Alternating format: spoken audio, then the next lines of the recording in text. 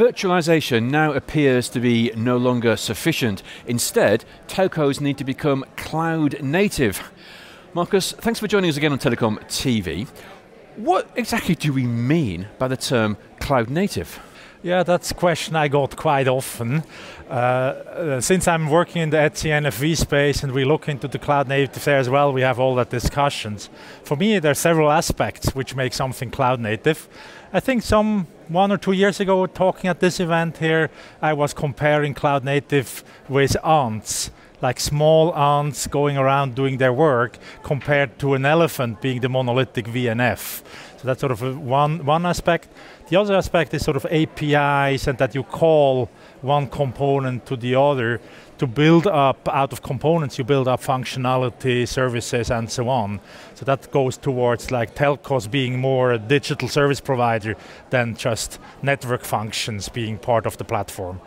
And sort of the third thing is probably sort of the whole thing around orchestration of these different components which need to be done a bit different than we do it today or how it has been done traditionally in telco so together that creates cloud native environments. Um, but what's the current status? Where are we in telecoms today? So it has started to go on.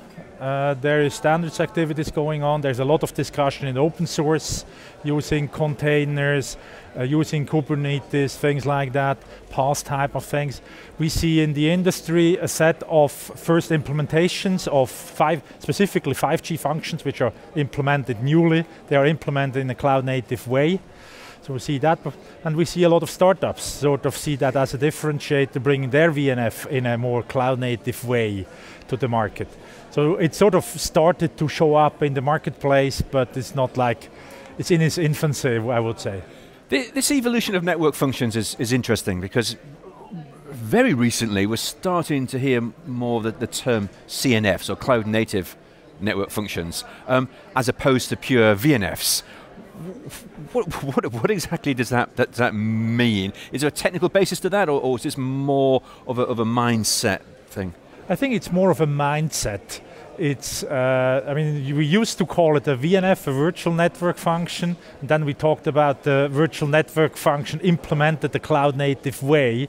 So giving this new animal a new name, I think makes a lot of sense because it's it's really much more different than we thought it is at the beginning. So I'm, I'm going back to your analogy of the ants here now. Um, so in a way, this is introducing microservices then and containers. This is this all segmenting down into small, what, more, more, more functions, more applications, or instances.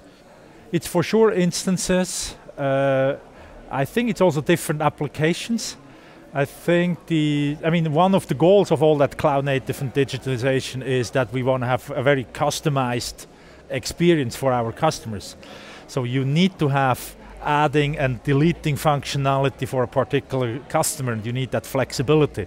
And you want to have that in a very small, a very fine granular way with all the challenges coming around with, from the management and operation of things like that. Right, as you say, the management of it and, and, and orchestrating in, in, in, this new domain. Uh, does this all then fit into the, the telco cloud?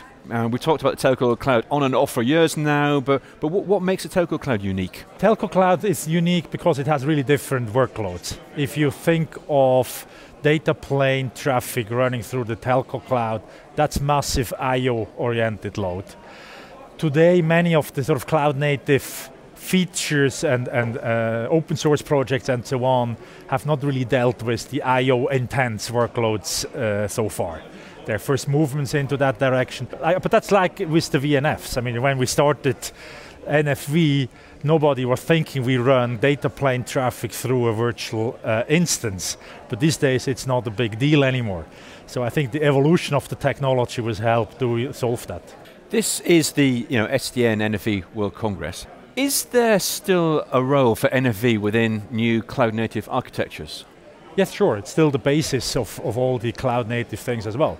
I mean, the telco cloud or the NFV infrastructure is the baseline for everything. We, we believe, specifically everything which is more centralized.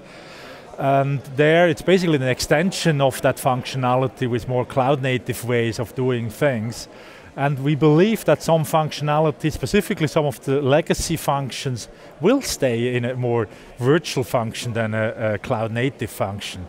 So it's, it will be a mix for quite some time. So the, the, platform just basically needs to support both.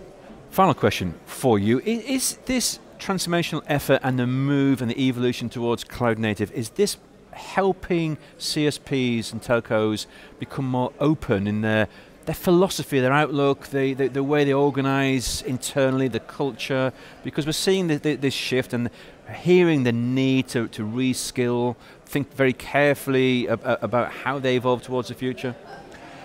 Yeah, we're going to be more open. We have to be more open. And the, the technology allows also to be more open.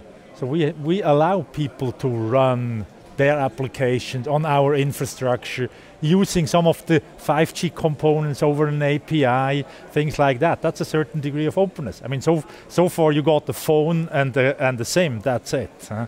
So I think we're going to be much more open. On the skill side, that's still a challenge. We are very uh, physical oriented, also from the skill set. So the whole software engineering departments need to skill up and, and, and get ready for these things. So this is ongoing. But it's, I mean, as Swisscom, we had a bit of a, a, a, head start on that since we always did IT for quite some time. Well, Markus, as always, thanks for joining us on Telecom TV. Thank you very much.